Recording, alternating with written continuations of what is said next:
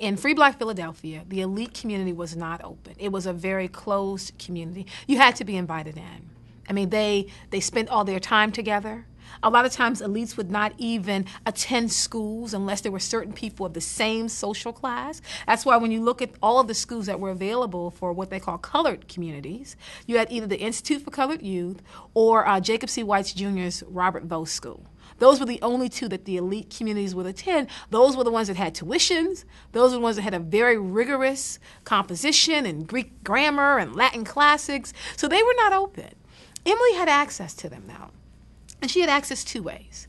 One way that she had access is her uncle was Elijah J. Davis, and he signed the 1863 Call to Arms with Frederick Douglass. He was also a member of the Grand Order Union of Brotherhood Fellows, which is a very elite black men's club. He was part of the Banneker Institute with Jacob C. White Jr., so her uncle was a part of that community. The second way was through her brother in law, Christy, and he was a teacher at the Institute for Colored Youth with Octavius Catto.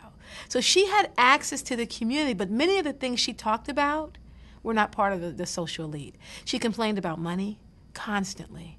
She was always running out of money. She always felt someone was out to steal her money. In fact, she had money stolen and she talked about it for days on end $6.75, uh, roughly $125. But she's keeping all this money in her trunk. She also worked as a short term living domestic and a typical home sewer.